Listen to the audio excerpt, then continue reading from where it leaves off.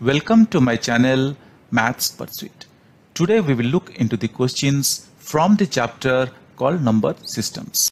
The given question is simplify 3 to the power 1 upon 5 to the power 4. So guys, let us see how we can simplify the given expression.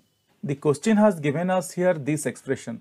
The question has given us here this expression 3 to the power 1 upon 5 to the power 4 to the power 4 and question is asking us to simplify. Question is asking us to simplify the given expression.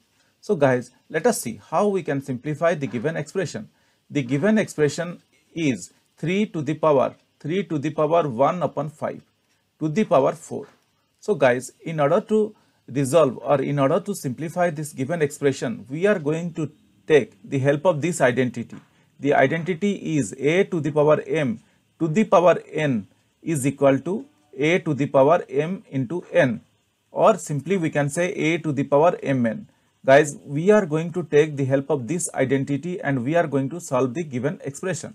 So, let us use this identity and solve the given expression. The given expression now I can write is equal to 3 to the power 3 to the power m into n that is 1 upon 5 into 4.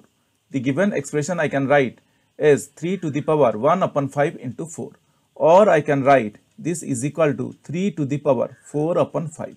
So guys this is our answer. What we got? We got our answer is 3 to the power 4 upon 5.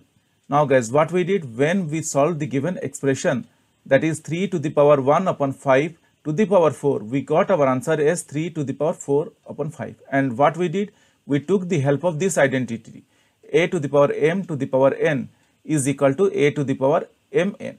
Hope guys you understood this. This is very simple and very straightforward.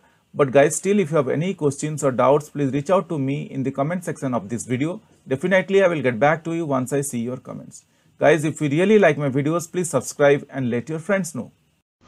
If you really like my videos, I would request you to kindly subscribe and also let your friends know. This will motivate me to create similar videos in the future. Thank you. Bye.